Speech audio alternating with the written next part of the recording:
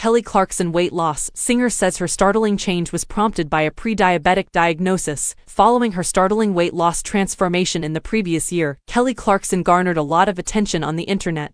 The 41-year-old singer lost 41 pounds as a result of eating well and working out every day. When it comes to celebrities who lose weight without using drugs like Ozempic and Wegovy, Clarkson is still a big talking point. The stronger singer thought back on the negative effects of her unhealthy lifestyle prior to her weight loss in a recent interview. On Monday, the singer of Catch My Breath revealed that she was diagnosed with prediabetes during an episode of her talk show, The Kelly Clarkson Show. Upon receiving praise from Kevin James, one of the guests, who said she looked great, Clarkson said, Oh, thank you. I was informed that I had prediabetes, according to E! News. The singer of Underneath the Tree went on, That's exactly what happened. I was a little overweight, so I wasn't shocked, but it didn't surprise me. Clarkson went on to say that this was the moment in her life when she felt motivated to do something about it. But when they did, they said something like, You're right on the borderline.